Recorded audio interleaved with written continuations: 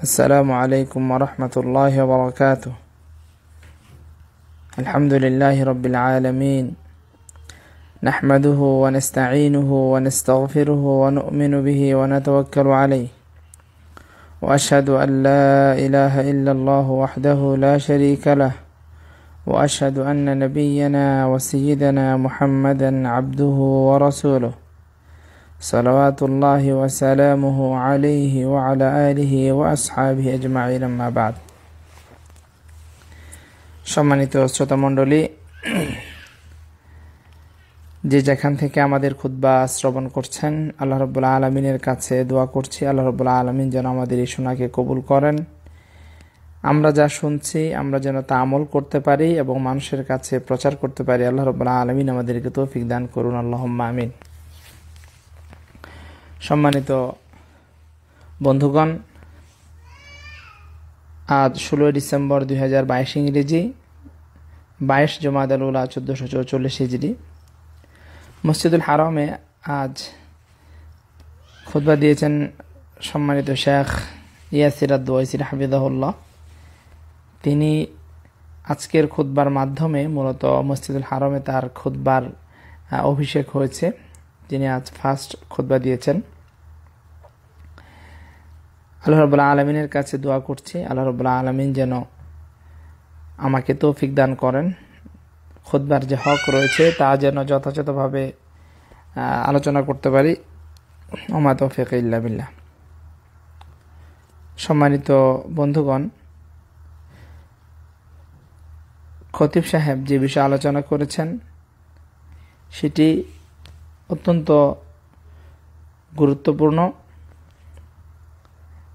আল্লাহ রবুল্লা আলমিন যে আমাদেরকে পরিপূর্ণ নিয়ামত দান করেছেন ইসলাম এবং তৌহিদের মাধ্যমে, তিনি সেই তৌহিদের কথা আলোচনা করেছেন। তৌহিদ অত্যন্ত গুরুত্বপূর্ণ বিষয়।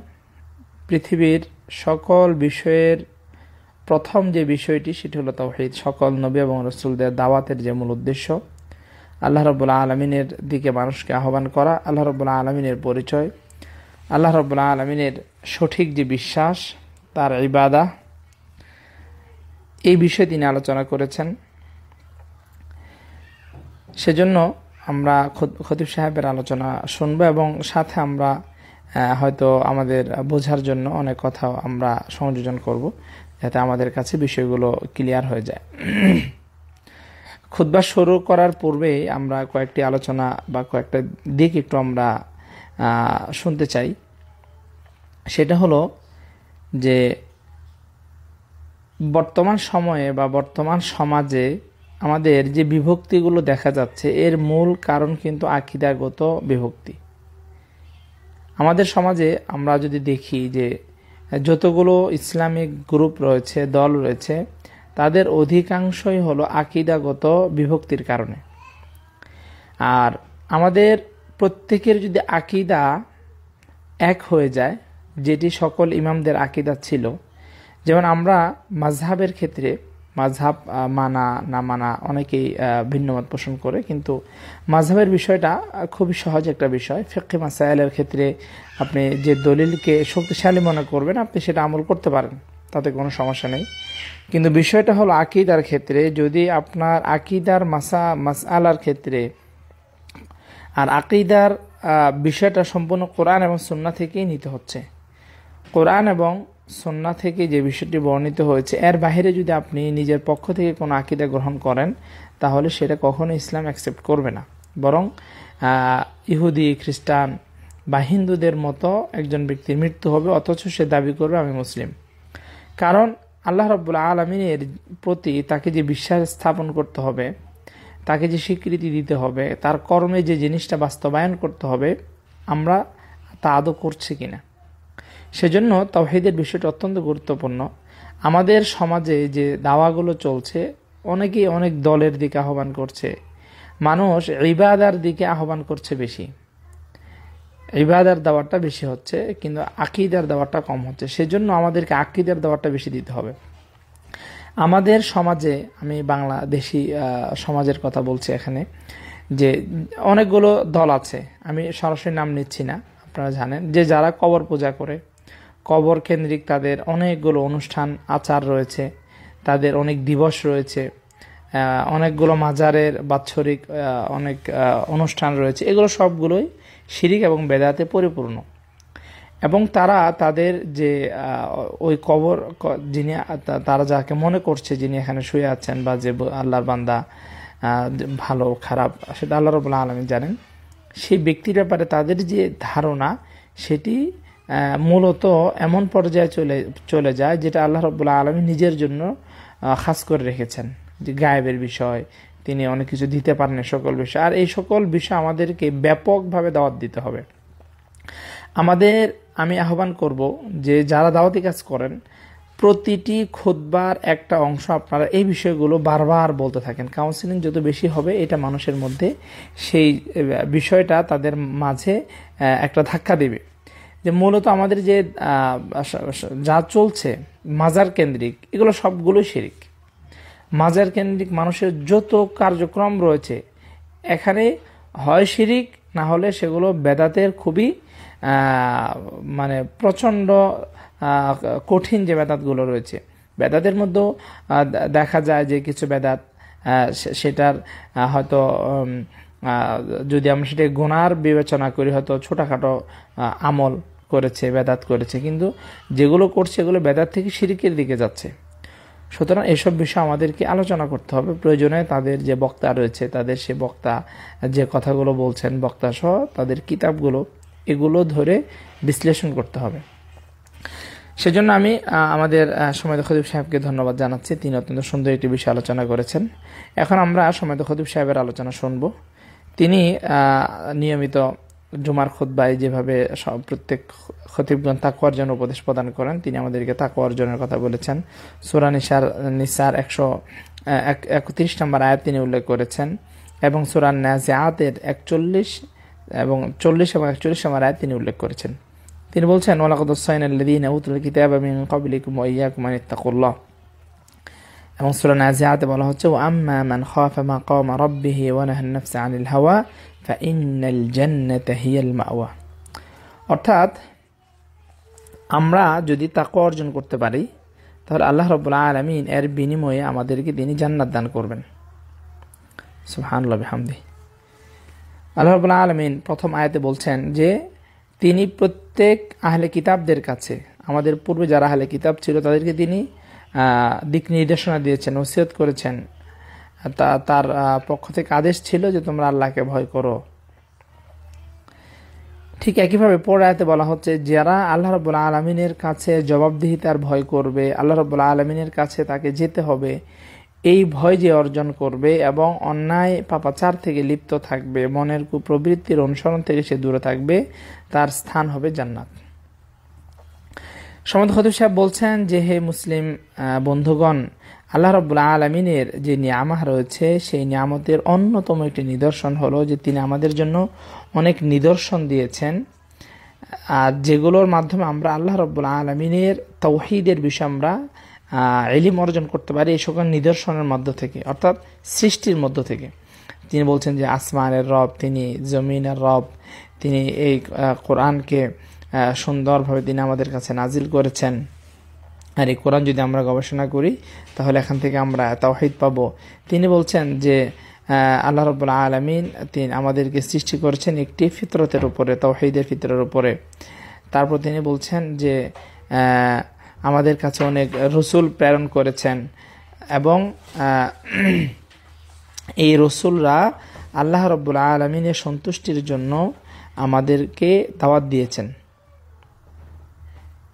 তারা প্রত্যেকেই আল্লাহ রব্বুল্লা আলমিনের জন্যই শুধু ইবাদা করতে হবে সেই বিষয়ে আহ্বান করেছেন এবং আল্লাহ রব্বুল্লা আলমিনের নাফরমাই থেকে আমাদেরকে বেঁচে থাকতে হবে এই বিষয়ে তারা নির্দেশনা দিয়েছেন। এরপর তিনি বলছেন হে আল্লাহর বান্দাগণ যে আল্লাহ রব্বুল্লা আলমিনের জন্য ইবাদা করতে হবে এখলাসের সহিত।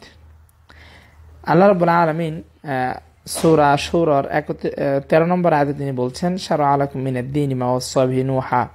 والذي أوحينا إليك وما وصينا به إبراهيم وموسى وعيسى أن أقيموا الدين ولا تتفرقوا فيه সমাজ খতিব সাহেব বলছেন এখানে যে দিন আহ, আহ, যে প্রতিষ্ঠা করা একামাত দিন এই বিষয়ে তিনি বলেছেন যে আল্লাহ রাব্বুল আলমিনের জন্য একনিষ্ঠভাবে ইবাদা করতে হবে এবং একামতে দিন করতে হবে সেটা হলো ওসিয়তুল্লাহ ইলি আম্বিয়াই রসুলি আল্লাহ রবুল্লাহ আলমিন তার নবী এবং রসুলদেরকে এই বিষয়ে তিনি তাদেরকে ওসিয়া করেছেন, নির্দেশনা দিয়েছেন।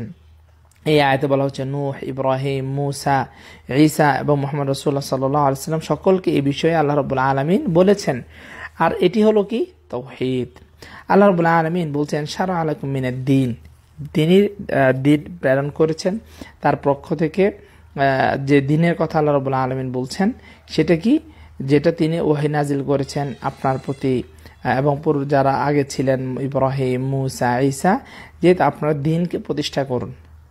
এখানে দিন প্রতিষ্ঠা হলো তাওহিদকে প্রতিষ্ঠা করা। আল্লাহ রবুল্লাহ আলমিনের তাওহিদ প্রতিটা মানুষের কাছে, প্রতিটা মানুষের কলবের মধ্যে মানুষের কাছে তাওহিদ প্রতিষ্ঠা করতে হবে, তাওহিদের দাওয়াত দিতে হবে। সমাজ খদুর সাহেব বলছেন যে অনেক আয়াতের মধ্যে আল্লাহ রবুল্লাহ আলমিন এই বিষয়ে আলোচনা করেছেন। যে আল্লাহ রবুল্লাহ আলমিন পূর্বের নবীদের পূর্বের উম্মদদের কাছে নবী প্রাণ করেছেন এবং কারণটা কি, উদ্দেশ্য কি? যেভাবে সোনাহালের ছত্রিশ নম্বর আয়াত আল্লাহ রবুল্লাহ আলমিন বলছেন, ওয়ালাকদ বা আসিনাফি কুল্লি উম্মাতের রসুলা। প্রত্যেক উম্মতের কাছে আমি রসুল পাঠিয়েছি, কেন? আনে আবুদুল্লাহ। আল্লাহ রব্লা আলমিন ইবাদা করতে হবে। ওয়াজতানিবুত্তাগুত এবং আল্লাহ রব্লা আলমিন ছাড়া অন্য যাদের ইবাদা করা হয়, তাদের ইবাদা থেকে দূরে থাকতে হবে এই বিষয়ে মানুষকে শিক্ষা দেওয়ার জন্য, এই বিষয়ে মানুষের কাছে মেসেজ পাঠানোর জন্য। তাহলে আল্লাহ রব্লা আলমিনের তাওহিদের দাওয়াত দেওয়ার জন্য, তাওহিদকে প্রতিষ্ঠা করার জন্য সার্বিক তাওহিদ প্রতিষ্ঠা করা, অর্থাৎ তাওহিদের যত প্রকার রয়েছে অর্থাৎ তহিদের সিফাত আর রবুবিয়া, উলুহিয়া এবং এর যে দাবিগুলো রয়েছে, ইবাদা, এসব বিষয়গুলোই নবীরা এই বিষয়ে দাওয়াত দিয়েছেন। এবং আল্লাহ রব্বুল্লাহ আলমিনের তৌহিদের যে সকল মুনাফি জিনিস রয়েছে, যেগুলো তৌহিদের বিপরীত, সে সকল বিষয় থেকে নবীগণ মানুষদেরকে নিষেধ করেছেন। সময় খদু সাহেব বলছেন যে তাওহিদের গুরুত্ব অনেক বেশি। আর সেজন্য আল্লাহ রবুল্লা আলমিন তাওহিদের কথা কোরআন কেরিমে অনেক জায়গায় বলেছেন। তিনি পরবর্তীতে বলবেন যে সালফ সালফ সালহিনগণ বলতেন যে, কোরআন করিমের প্রতিটা আয়তের মধ্যে তাওহিদের বিষয় আলোচনা রয়েছে। হয়তো সরাসরি, না হলে সেখানে ইঙ্গিত রয়েছে তাওহিদের বিষয়ে।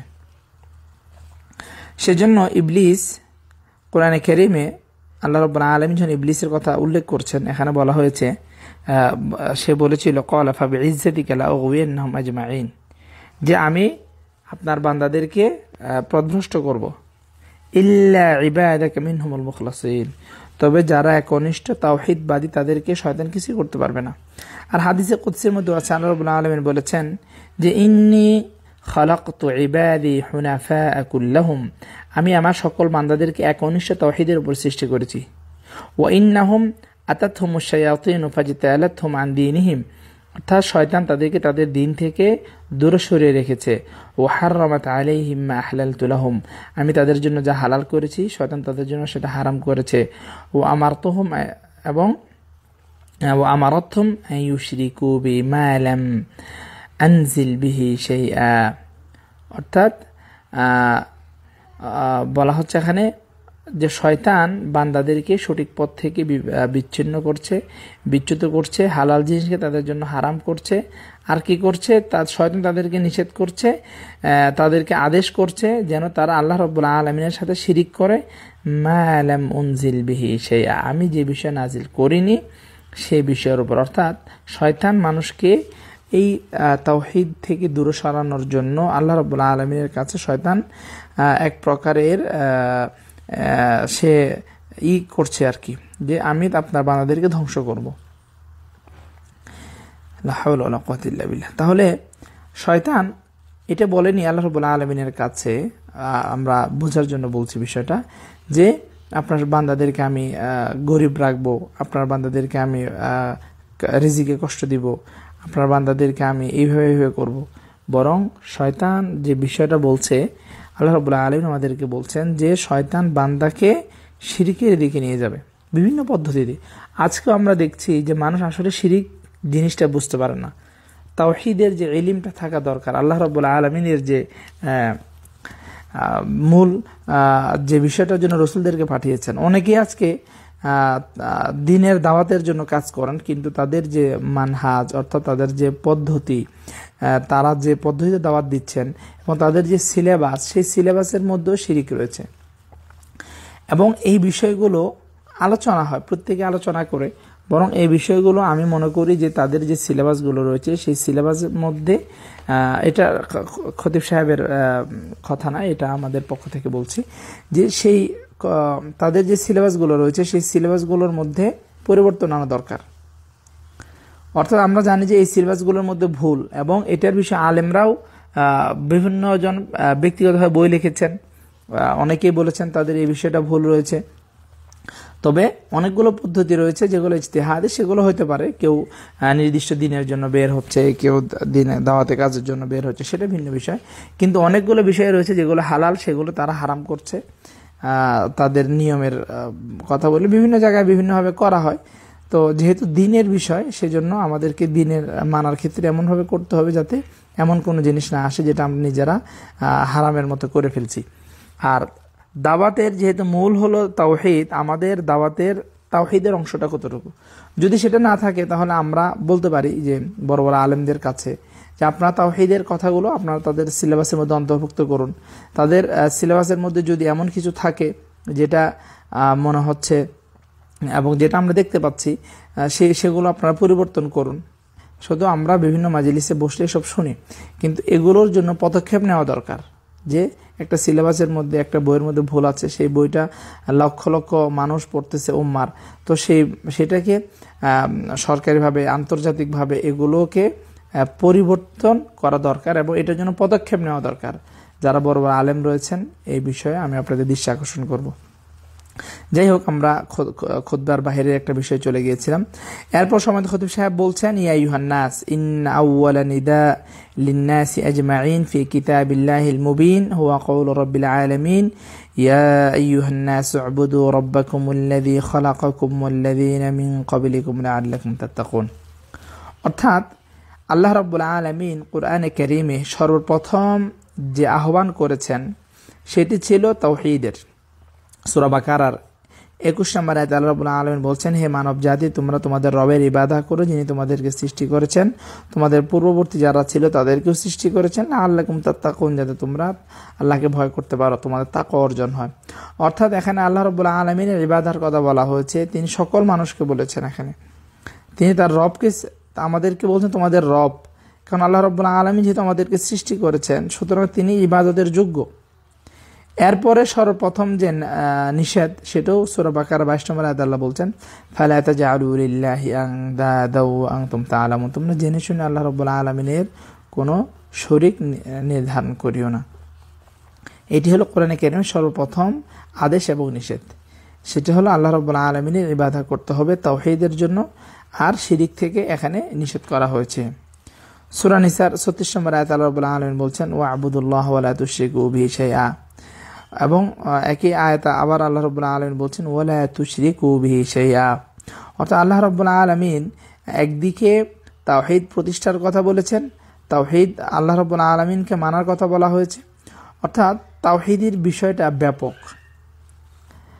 বিষয়টা হলো যে আমরা অনেকে মনে করে থাকি যে শুধুমাত্র আমরা মনে মনে বিশ্বাস করি। অধিকাংশ মানুষ যেটা মনে করে যে আমরা মনে মনে বিশ্বাস করছি আল্লাহর ব্যাপারে। কিন্তু আসলে এটার বাস্তব যে বিষয়টা রয়েছে, আল্লাহ রব্বুল আলমিনকে আমরা বলছি, আমরা বিশ্বাস করি। কিন্তু শুধু মুখে বিষয় না, তাওহিদটা। তাওহিদটা হলো আপনার মুখে স্বীকৃতি দেওয়া, কলবের মধ্যে বিশ্বাস করা, আমলের মধ্যে সেটা বাস্তবায়ন করতে হবে। আর এই তাওহিদ আপনার আপনার জীবনে সেটা বাস্তবায়ন করতে হবে। আপনি যদি কবরে যান, আপনি যদি তাবিজ কবজ ব্যবহার করেন, আপনি যদি দেখা যাচ্ছে গায়রুল্লাহর কাছ থেকে আপনি মান্নত করতেছেন, এই সকল বিষয়, অনেকগুলো বিষয় রয়েছে। এই সকল বিষয় আপনি করছেন কিন্তু আপনি বলছেন আপনি মুমিন। আপনি বলছেন যে রসুল গায়েব জানে। আপনি বলছেন যে রসুল সব জায়গায় হাজির নাজির তাহলে এটা কখনোই তাওহিদ হতে পারে না। এটা তাওহিদের পরিপূর্ণ পরিপন্থী এবং এই সকল আকিদা নিয়ে মারা গেলে অনেক আলেমরা বলছেন যে তারা অমুসলিম হয়ে মারা যাবে। সুতরাং এইসব বিষয়ে আমাদেরকে অবশ্যই সতর্ক থাকতে হবে। এবার সময় খতুব সাহেব বলছেন যে লা ইল্লাল্লাহ আমরা যেন লাইলাহা ইল্লাল্লাহর যে ধারক আমরা যেন তাদের মধ্যে অন্তর্ভুক্ত হই। যারা এর শুরুত এর যে শর্ত রয়েছে সেটা যারা বাস্তবায়ন করে যারা এটাকে পরিপূর্ণভাবে মান্য করে এবং এই লাইলাহা ইল্লাল্লাহ আহ, যা স্বীকৃতি দেয়, আমরা যেন সেটাকে স্বীকৃতি দিই এবং লাইলাহা ইল্লাল্লাহ যেটাকে অস্বীকৃতি দেয়, সেটাকে যেন আমরা অস্বীকৃতি দিই। আমরা যেন আল্লাহ রব্বুল্লাহ আলমিনকে রব হিসাবে ইলা হিসাবে এবং তার যে নাম এবং গুণাবলী রয়েছে, সেগুলো যেন আমরা যথাযথভাবে মান্য করি। কীভাবে? কোনো প্রকারের উদাহরণ, কোনো প্রকারের সাদৃশ্য কোনো প্রকারের পরিবর্তন পরিবর্তন ছাড়াই যেন আমরা আল্লাহ রব্বুল্লাহ আলমিনের রবুবিয়া, উলুহি এবং আসমা সিরত যেন আমরা মান্য করি। বিশেষ করে তার আসমা এবং সিফাতের ক্ষেত্রে এই বিষয়গুলো বেশি হয়ে থাকে যে মানুষ এগুলো নিজেদের মতো মন গড়া ব্যাখ্যা করে। বরং আলোচনাতল জামাতের মূল নীতি হলো যে এই সকল নাম কোরআন এবং সুন্নাতে যে যে যে শব্দটা ব্যবহৃত হয়েছে যে অর্থের জন্য, সেটাকে অবিকল সে অর্থে ব্যবহার করা। সেটি হলো আহলুসুন্নাল জামাতের আকিদা। এখন অনেকে আহলুসুন্নাল জামাত নিজেরা দাবি করে, কিন্তু তাদের মধ্যে এই সকল আকিদা নেই। এবং এটা হলো এলমি বিষয়, এটা বুঝতে হবে, জানতে হবে। কেউ যদি অস্বীকার করে সাধারণ মানুষকে আমাদের দায়িত্ব এসব বিষয় প্রচার করা, এবং সেই সকল আলেমদের ভুল সেই বিষয়টা আমাদেরকে বলতে হবে যে এই ব্যক্তি ভুল ব্যাখ্যা দিচ্ছে। এরপর সমাদ খদুর সাহেব বলছেন যে আল্লাহ রব্বুল আলমিন আসমান এবং জমিনের মধ্যে সব কিছু আমাদের জন্য তিনি অর্থাৎ আমাদের কাজের জন্য নিয়োজিত করে দিয়েছেন। আসমান, জমিনে, যা কিছু রয়েছে, সবগুলো আল্লাহ রব্বুল্লাহ আলম যে নিয়ামত রয়েছে, সবগুলো আমাদের জন্য করেছেন যাতে আমরা এখান থেকে উপকৃত হতে পারি।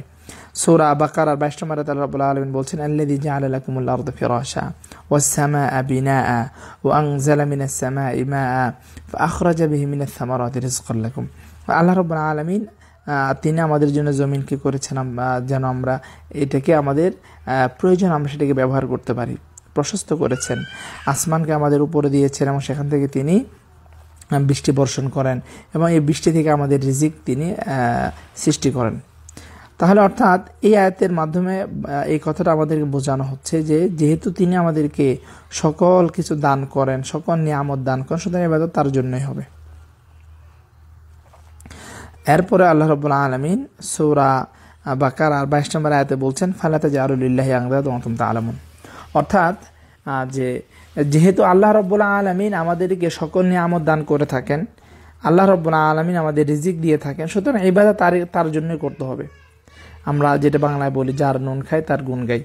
অর্থাৎ যেহেতু প্রথমে বলা হয়েছে তিনি আমাদেরকে সৃষ্টি করেছেন, সেজন্য তিনি ইবাদতের মালিক। দ্বিতীয়ত বলা হচ্ছে তিনি আমাদেরকে সকল প্রকারের রিজিক দান করেন, সেজন্য তিনি ইবাদতের মালিক এবং তার সাথে কারও করা- শিরিক করা যাবে না। ইবনে আব্বাস রদি আল্লাহ আনহু, তিনি এই আয়াতের ব্যাখ্যায় বলছেন, লা তুশরিকু বিগাইরিহি মিনাল আন্দাদ আল্লাতী যে আল্লাহ রাব্বুল আলামিনের সাথে অন্য কারও শিরিক করা যাবে না। যারা কোনো ক্ষতিও করতে পারে না, লাভও করতে পারে না। আর এর অর্থ এই না যে কেউ যদি লাভ ক্ষতি করতে পারে, তার শিরিক করতে হবে। অর্থ এখানে বোঝানো হচ্ছে যে, আল্লাহ রাব্বুল আলামিন ছাড়া পৃথিবীর কোনো মাখলোক কারও ক্ষতিও করতে পারবে না, কোনো লাভও করতে পারবে না। বাহ্যিকভাবে যদি আপনাকে দেখায় যে একটা কোনো একটা জিনিস হয়তো তারা করে দেখাচ্ছে, কিন্তু আসলে সেটা ধোকা। ওয়ান্তুম তা আলামুন এরপর আল্লাহ রবুল্লা আলমিন বলছেন যে ওয়ান্তুম তা আলামুন আন্নাহু লা রাব্বা লাকুম ইয়ারযুকুকুম গায়রুহু। আল্লাহ রাব্বুল আলামিন ছাড়া কেউ রিজিক দিতে পারবে, কেউ কাউকে সৃষ্টি করতে পারবে। আল্লাহ রাব্বুল আলামিন কোরআনে কারিমে বলেছেন যে, একটা মাছিও তারা তৈরি সৃষ্টি করতে পারবে না। তাহলে কেউ এখানে নাফা দর অর্থাৎ সৃষ্টি করা মানুষকে, আদম থেকে কোনো জিনিসকে উজুদে নিয়ে আসা, তাদেরকে প্রদান করা। এবং বলছেন ওয়ালাকাদ আলিমতুম أن أن الذي يدعوكم إليه الرسول من توحيده هو الحق الذي لا شك فيه যত নবী এবং রসুল এসেছেন তারা যে বিষয়ে দাওয়াত দিয়েছেন সেই বিষয় হলো সত্য সেটা হলো আল্লাহ রবুল্লা আলমিন এক তার সাথে কোনো শরিক নেই তারই বাধা করতে হবে তিনি বলছেন যে এই বিষয়টাই হলো সত্য আর এছাড়া নবীদের বাহিরে যে দাওয়াত রয়েছে সবগুলো হলো বাতিল ইবিন মাসুদ রদি আল্লাহ তালা আনু থেকে সৈহাইন থেকে বর্ণিত হয়েছে একটি হাদিস আহ, বলা হচ্ছে কলতু ইয়া রসুল্লাহ আইদ্দি আদম তিনি বলেছেন যে পৃথিবীতে যত গুনাহ রয়েছে, তার মধ্যে সবচেয়ে জঘন্য গুণা কোনটি? রসুল্লাহ সাল্লাহ সাল্লাম বলেছেন আন্তাজা আনালিল্লাহ নিদ্দান ও খলাকক। যে যিনি তোমাকে সৃষ্টি করেছে, তুমি তার সাথে অন্যকে সমকক্ষ করা। তাহলে আল্লাহ রবুল্লা আলমিন যে যেহেতু আমাকে সৃষ্টি করেছেন, সুতরাং ইবাদা হবে তার জন্যই। সুহান আল্লাহ সমাদ খদিব সাহেব বলছেন যে, হে আল্লাহর বান্দাগণ, যে আমার আল্লাহ রব্লা আলমিনের তৌহিদ মানার অর্থ হলো আল্লাহর আদেশ এবং তার যে নিষেধ রয়েছে, সে, এগুলো মান্য করা। আর তিনি বলছেন যে, তাওহিদের উপরেই আসমান এবং জমিনের সব কিছু এটার উপরেই প্রতিষ্ঠিত রয়েছে। অর্থাৎ যদি তাওহিদ না থাকতো, তাহলে আসমান এবং জমিন থাকতো না। মানুষ থাকতো না এভাবে। তিনি সুরা আম্বিয়ার বাইশ নম্বর আয়াত উল্লেখ করছেন লাউকান আফি হিমা আলিহাতুন ইল্লাল্লাহু লাফাসাদাতা, ফাসুবহানাল্লাহ রাব্বিল আরশি আম্মা ইয়াসিফুন। অর্থাৎ যদি একাধিক ইলাহ থাকতো ওই পৃথিবীতে, তাহলে তারা বিশৃঙ্খলা তৈরি করত, মারামারি করত। সেও একটা মাহবুদ প্রত্যেকেই চাইতো অপরের উপর বিজয় অর্জন করতে। তারা মারামারি করে পৃথিবী ধ্বংস হয়ে যেত। সুতরাং ইবাদা করতে হবে এক আল্লাহর। তিনি ছাড়া আর কোনো মালিক নেই। আমরা কত গল্প শুনি অমুক ব্যক্তি জীবিত করছে, অমুক ব্যক্তি মেরে ফেলতেছে, অমুক ব্যক্তি আজরাইলের যেটাকে মালাকুল মাউত বাংলা আমরা যারা আজরাইল বলি, মালাকুল মাউতের হাত থেকে রুহকে নিয়ে, ছিনিয়ে নিয়ে আসতেছে, এগুলো মিথ্যা এবং এগুলো কোরআন সন্ন্যার সুস্পষ্ট বিরোধী জিনিস। যাই হোক, এরপর সমান খদু সাহেব বলছেন যে আল্লাহ রব্বুল আলমিনের ইবাদা করাটা তার কাছে আমাদের ফিরাটা এটা সব কিছুর থেকে বেশি গুরুত্বপূর্ণ, যেমন আমাদের রিজিক, আমাদের আল্লাহ রব্বুল্লা আলমিনের সাহায্য, সহযোগিতা, এগুলোর সব কিছুর থেকে বেশি হলো আল্লাহ রব্বুল্লা আলমিনের প্রতি আমাদের তাওহিদের গুরুত্বটা। আল্লাহ রবুল্লা আলমিনকে মহাব্বত করা, তার দিকে আমাদের ফিরে যাওয়া, তার কাছে আমাদের ইবাদা করা, অর্থাৎ সব কিছু আল্লাহ রবুল্লা আলমিনের জন্য করা। যে কথাটা আল্লাহ রবুল্লা আলম সুরাদিয়াতের ছাপ্পান্ন নম্বর আয়তে বলেছেন ওমাখলাকুল জিন ইল্লালি আবুদু ইলি ওয়াহিদুন ইবাদা। এখানে তৌহিদ অর্থে ব্যবহার করা হয়েছে, অর্থাৎ যেন তারা আমার ইবাদা করে, অর্থাৎ আমার তৌহিদ প্রতিষ্ঠা করে। অর্থাৎ ইবাদা যেহেতু আল্লাহর জন্য, আর ইবাদাটা হলো তৌহিদের যে উলুহিয়া, ইবাদা। এখান থেকেই মূলত আল্লাহ রবুল্লা আলমিনের ইবাদা উলুহিয়া থেকে।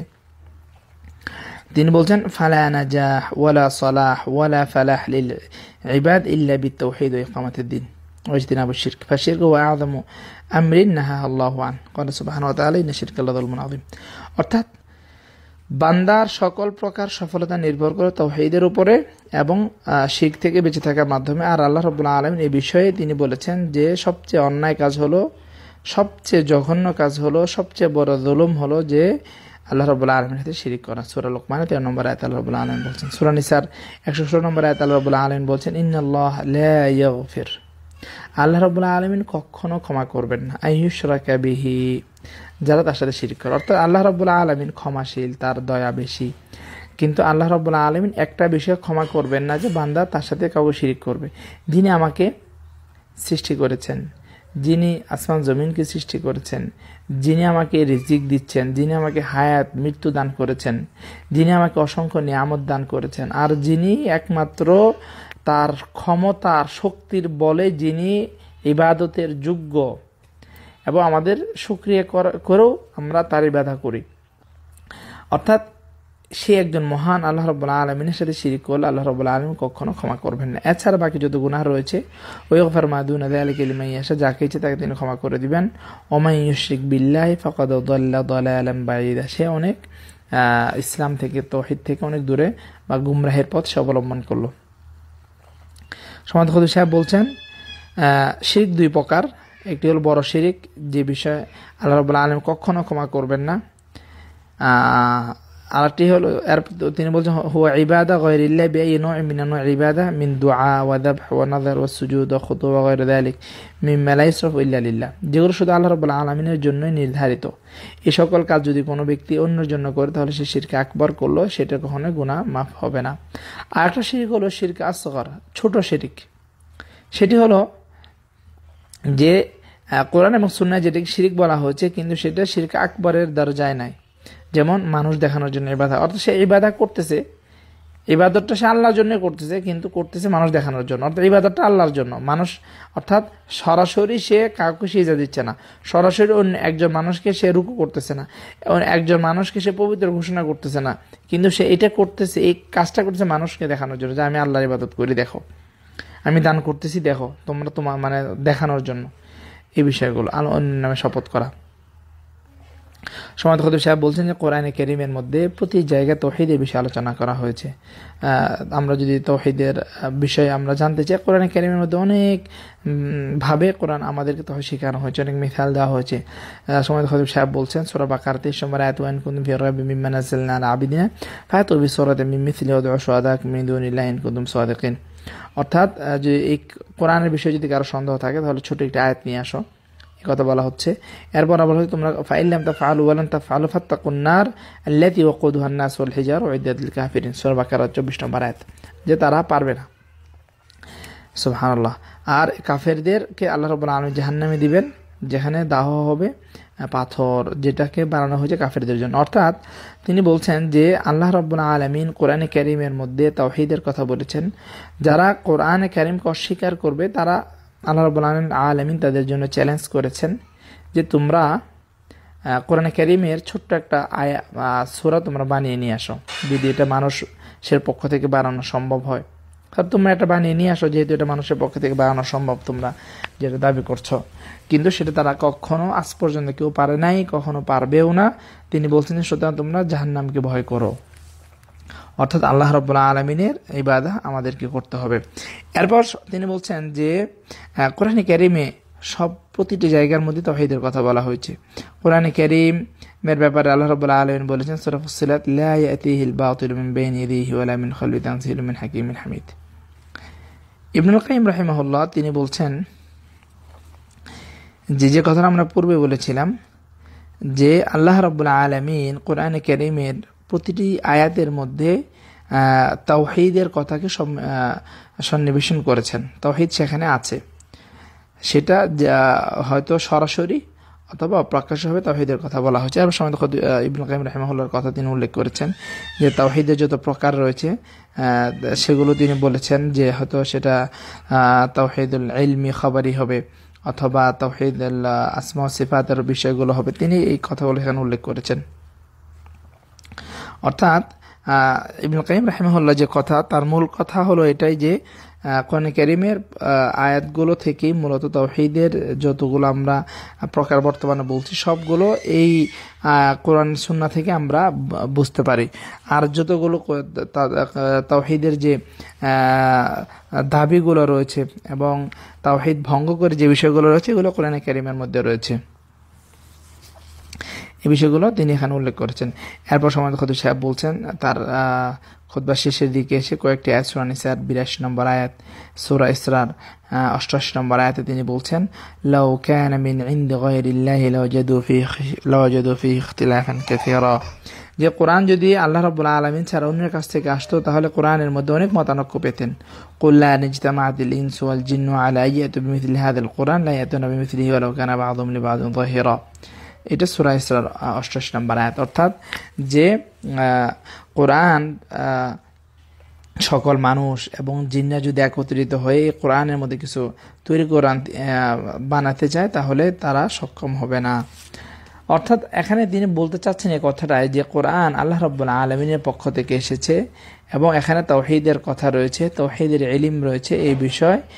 আমাদেরকে মান্য করতে হবে এবং কোরআন ক্যারিম থেকে আমাদেরকে তাহলে শিখতে হবে। কোরআন এটা আল্লাহ রব্বুল আলমিনের পক্ষ থেকে। এরপর সময় খদিব সাহেব তার খুদ্া শেষের দিকে একটি হাদিস উল্লেখ করেছেন, জাবের রদি আল্লাহ তালা আনু থেকে রসুল্লাহ সাল্লাহ আলিয়াল্লাম বলছেন বলেছেন যে মানমা তেলা ইউশরিকু বিল্লাহি সেইয়া দাখল আল জান্না যে ব্যক্তি তাওহিদ মান্য করবে, তাওহিদ পালন করবে, তাওহিদের বিপরীত জিনিস সে করবে না, সে জান্নাতে যাবে। অমান মায়াতা ইউশরিকু বিল্লাহি সেইয়া দাখল না রাহ মুসলিম। আর যে ব্যক্তি শিরিক করবে, শিরিক করে সে মারা যাবে, সে জাহান্নামে যাবে। সুতরাং এখন বিষয়টা আমাদের হাতে আল্লাহ রবুল্লা আলম ছেড়ে দিয়েছে যে আপনি শিরিক করবেন, আপনি তাহিদ অবলম্বন করবেন। আমরা মুসলিম, কিন্তু আমরা শিরিক করছি। সুতরাং আমাদেরকে সতর্ক থাকতে হবে। আমাদেরকে কমপক্ষে তাওহিদ এবং শিরিকটা জানতে হবে। আমরা তো অনেক কিছুই জানি। আমাদেরকে সবচেয়ে যে বিষয়টা বেশি জানতে হবে সেটা হলো তাওহিদ। সমাদ খতিব সাহেব বলছেন, আল্লাহ রব্বুল্লাহ আলমিন যারা তাওহিদবাদী তাদের জন্য অনেক জায়গায় সুসংবাদ দিয়েছেন কোরআনে কেরিম। অবশ্যইল্লাদিন আমান ও আমেল সালিহাত যারা ইমান আনবে, আমল সালেহ করবে, আন্না আলহম জান্নাত, তাদের জন্য জান্নাত দান করবেন। তাজির মিন তাহাতি হার যেখানে অনেক নহর থাকবে।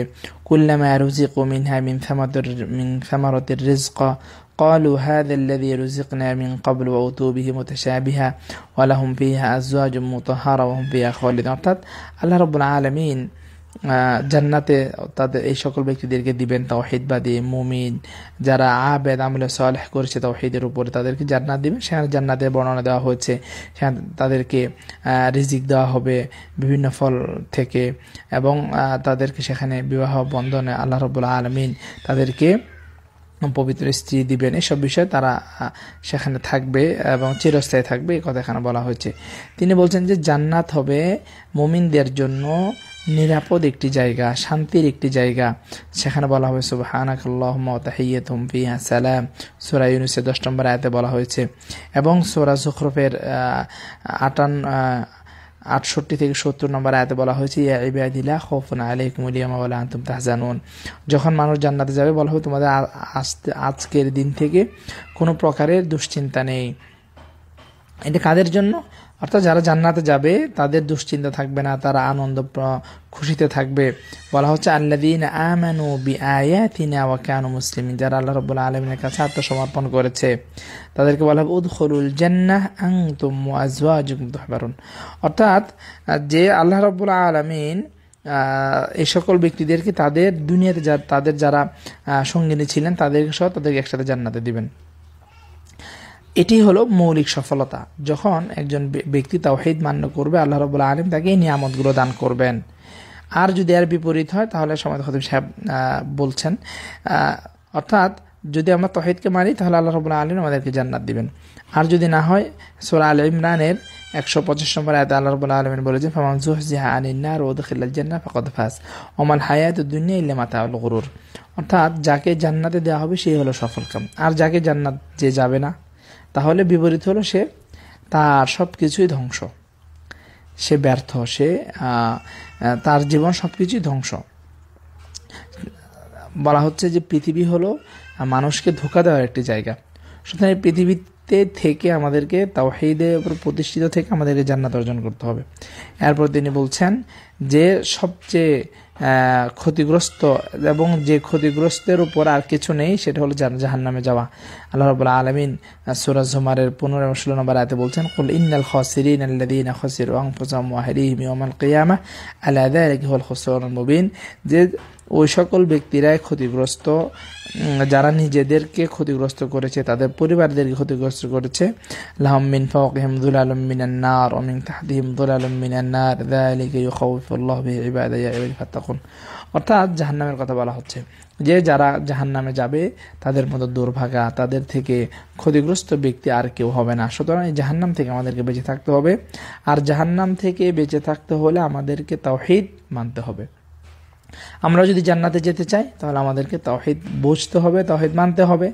তাওহিদ না বুঝে আল্লাহ রব্বুল্লাহ আলমিনের জান্নাতে যাওয়া সম্ভব না। তাওহিদ যদি না বুঝি, তাহলে আমরা তাওহিদ মানবো কীভাবে? সেই জন্য তাওহিদকে আমাদেরকে অবশ্যই তাওহিদ বুঝতে হবে। আর যদি তাওহিদ আমরা না না মানতে পারি, না বুঝি, ভুল করি, তাহলে এবং আমরা যদি শিরিকের মধ্যে লিপ্ত হই, তাহলে আমাদেরকে জাহান্নামে যেতে হবে। আর সেটা হবে ক্ষতিগ্রস্ত ব্যক্তিদের জায়গা। আর যে বিষয়ে আল্লাহ রবুল্লাহ আলমিন বলছেন ইউল্লাহ বিহি ইবাদা। আল্লাহ রবুল্লাহ আলমিন তার বান্দাদেরকে ভয় দেখিয়েছেন, ইয়া ইবাদি, ফাত্তাকুন, হে আমার বান্দারা, তোমরা ভয় করো। জাহান্নামকে আল্লাহ রবুল্লাহ আলমিন ভয় করতে বলছেন। সম্মানিত প্রিয় বন্ধুগণ, তাহলে আজকের খুতবা থেকে আমরা যে বিষয়টি অর্জন করতে পেরেছি, সেটি হলো আমাদেরকে তাওহিদ অর্জন করতে হবে। তাওহিদ ব্যতীত আমরা সফলকাম হতে পারব না। আর যদি আমাদের তাওহিদ না থাকে, তাহলে আমরা ক্ষতিগ্রস্ত হয়ে যাব। আমাদেরকে জাহান্নামে যেতে হবে। আর জান্নাতে যেতে হলে অবশ্যই আমাদেরকে তাওহিদ বুঝে, তাওহিদের মধ্যে আমাদেরকে প্রতিষ্ঠা থাকতে হবে। আর সকল নবী এবং রাসুলদের দাওয়াত ছিল তাওহিদের উপরেই।